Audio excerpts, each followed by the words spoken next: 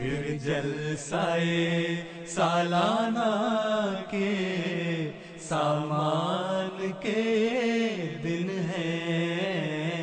अल्लाह से कुछ वादो, पैमान के दिन है।